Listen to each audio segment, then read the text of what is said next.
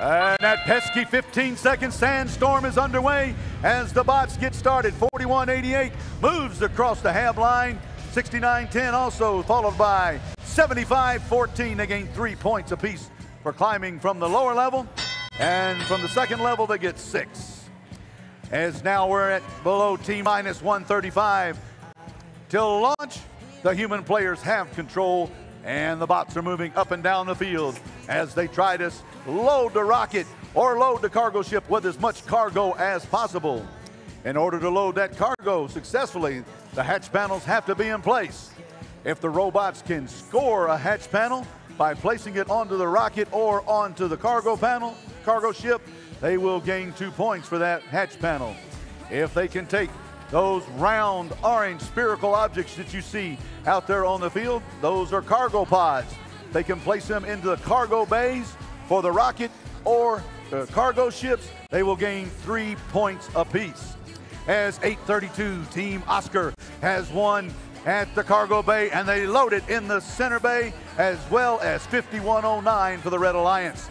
75 14 Eve Robotics team. They're trying to place a hatch panel. They're up at the cargo ship. They're trying to get that second hatch on the front of that cargo ship so they can load those valuable cargo pods and gain those valuable points. 6910 spinning around heading for the loading zone as Columbus Space Program picks up one of those cargo pads and moves towards the rocket. Now they've changed their mind and head towards the cargo bay. And they're at the cargo bay of the cargo ship. They drop it and lose control. It falls outside onto planet Primus' surface. Now they change their strategy and move towards the center of the HAB platform. Looks like they're going to attempt to climb up onto the third level of the HAB platform. That will get them 12 points if they're successfully able to climb onto that third level. As we're now down to T minus 15 seconds. The score 31 to 25 in favor of the Blue Alliance right now. As the Columbus Space Program continues to try to climb, Oscar is up or trying to get up on level two. That's worth six points if they can stay there at the end of the match, T minus zero.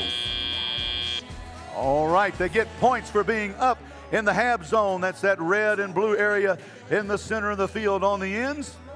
They get three points for being successfully supported by the HAB platform. All parts of the robot, including wires, batteries, anything that might be dangling, must be supported by the platform.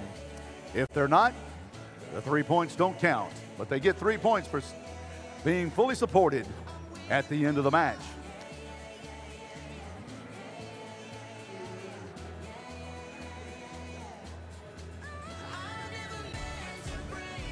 All right. Hey, tell me we're ready for launch. Let's watch the screen as the Blue Alliance rockets ahead of the Red Alliance with a score of 40 to 28.